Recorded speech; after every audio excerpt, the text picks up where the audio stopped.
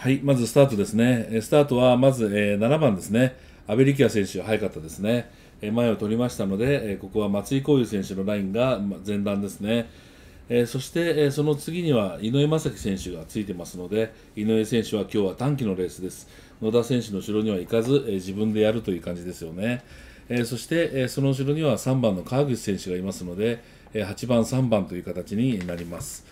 えその後ろ、え4番の島川選手に、え佐々木剛選手、えこの動ける自力同士が、え四国勢ですね、え9番の野田選手が最高峰に位置しています。えこのような状態で、えスタートしました。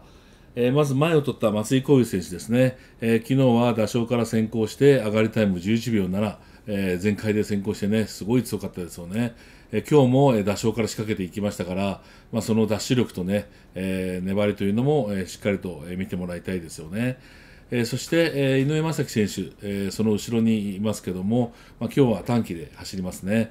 えー8番の山田亮選手、えー昨日は佐々木剛選手のね、えーあ佐々木勇樹選手の番手で吉吉田選手をさばきましたよね。えーなので、えー今日も、えー展開でがなれば、えーさばきに行くレースも、えーしてくるのではないかなとレース前は予想してたんですけども、えー今日はね叩きに行ったレースでしたよね。えーそしてその4番の島川選手、えー島川選手も昨日は松井光裕選手の番手で、えーインで粘りましたのでね、えーこの、え8番と4番の、え島川選手に山田選手は、えやっぱりここはね、えー上位着に入るのであれば、えーそういうレースもしていかなければいけないのかなというところでしたよね。えー残り2周半、青番バックで4番の島川選手が、えー抑えてきました。えー野田選手も短期でそこについていきましたね。えー前を取った、えー松井光裕選手、えー突っ張らずにここを下げましたよね。えー下げたことによって、えーかましていくレースに、えーなってくるのかなという展開になってきましたね。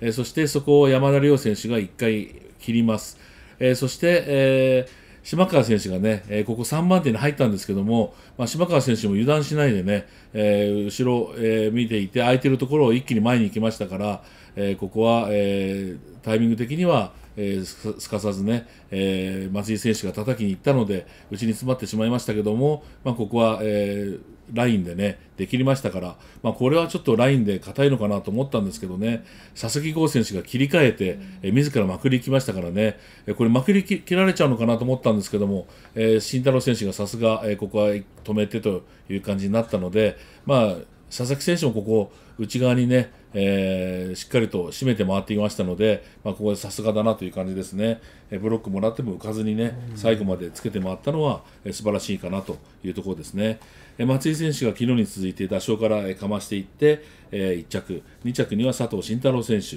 えー3着に佐々木剛選手ですね、2番、5番、6番でゴール決着しました。第7レースでした。